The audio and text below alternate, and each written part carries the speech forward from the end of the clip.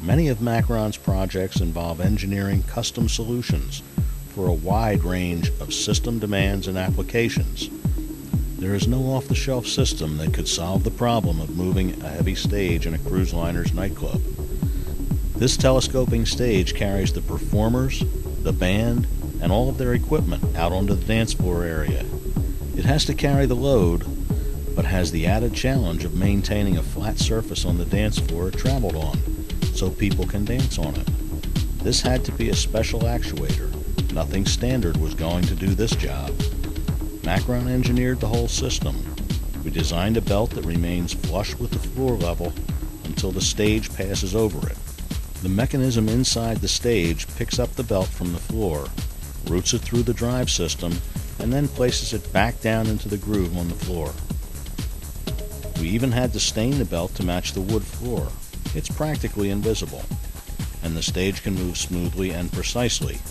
That was just one of several issues that arose once we were on site.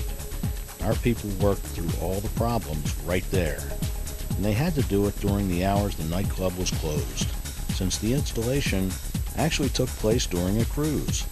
It was a tough installation, at least that's what our men tell us. They couldn't possibly have enjoyed it. Or could they? Guess we'll really never know. When it came to designing a huge inventory replenishment system in a lights out warehouse for a medical consumer product company, we really stretched our creativity. Ultimately, we went way beyond the customer specification we thought of a better way to put more capacity in less space at a lower cost. This giant system is 167 feet long with 20 axes of motion and 2,600 pre-programmed positions.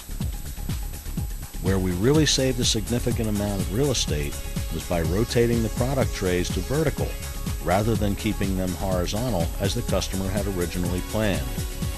Creativity in engineering is important. That's one of the key advantages to working with Macron.